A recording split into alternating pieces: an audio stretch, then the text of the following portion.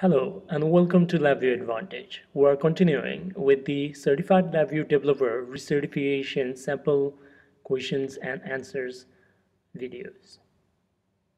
Please pause the video if necessary and scroll if necessary, then resume. Let's begin.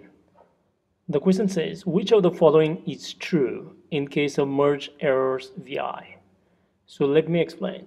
So merge error vi is a function which can take multiple number of error in outputs and it actually works from top to down approach.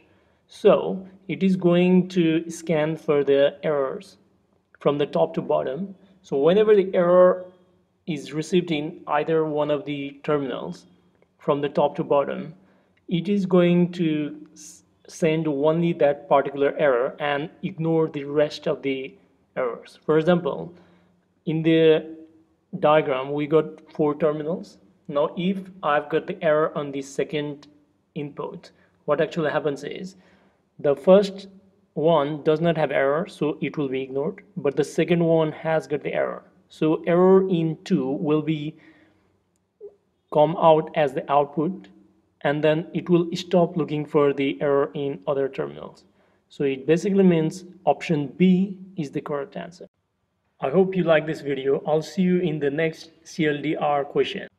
Please subscribe to this channel and do not forget to turn on the bell icon to be notified for new LabVIEW videos.